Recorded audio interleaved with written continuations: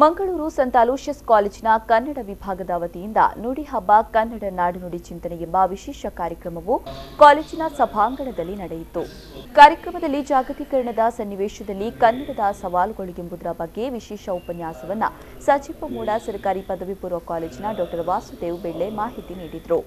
ಈ ವೇಳೆ ಮಾತನಾಡಿದ ಅವರು, ಜಾಗತೀಕರಣದಿಂದ ಕನ್ನಡ ಅನೇಕ ಸಮಸ್ಯೆಗಳನ್ನು ಎದುರಿಸ್ತಾ ಇದೆ. ಕನ್ನಡ ಕೇವಲ ಒಂದು ಭಾಷೆಯಲ್ಲ ಅದು ನಮ್ಮೆಲ್ಲರ ಬದುಕು. ಜಾಗತೀಕರಣ ಎಂಬ ಸಂಭ್ರಮದಿಂದ ನಮ್ಮ ಭಾವುಕತೆಗೆ ಬೆಲೆ ಇಲ್ಲವಾಗಿದೆ. ಕರುನಾಡಿನಲ್ಲಿ ಇಂಗ್ಲಿಷ್ ಎಂಬ ಭಾಷೆ ಸ್ತಬ್ಧವಾಗಿದೆ. ಪರಭಾಷೆಗೆ ನಾವು ಗುಲಾಮರಾಗಿದ್ದೇವೆ ಎಂದರು.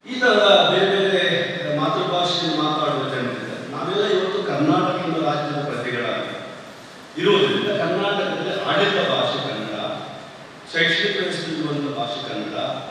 ಈ ಕನ್ನಡ ಎದುರಿಸುತ್ತಿರುವ ಸಮಸ್ಯೆ ಬಗ್ಗೆ ನಾವು ಎದುರು ಮಾತಾಡಬೇಕಾಗಿದೆ.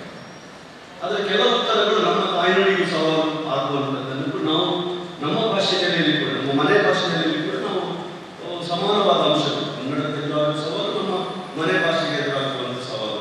ಇದು ಸಮಾನವಾಗಿ ಇರುವಂಥದ್ದನ್ನು ಕೂಡ ಗಮನಿಸುತ್ತೆ ಮೊದಲಿಗೆ ಒಂದು ಪ್ರಶ್ನೆಯನ್ನು ನಾನು ಹಾಕ್ಕೊಳ್ತೇನೆ.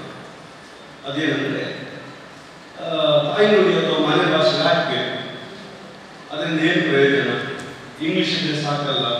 ಅಂತ ನಿಮಗೆ ಅನ್ನಿಸ್ಬೋದು. ಯಾಕೆ ಒಂದು ಭಾಷೆ ಬೇಕು? ನಮಗೆ ಪ್ರಯೋಜನ ಇಲ್ಲದ ಭಾಷೆ ನಾವು ಬಿಟ್ಬಿಡ್ಬೋದಲ್ಲ.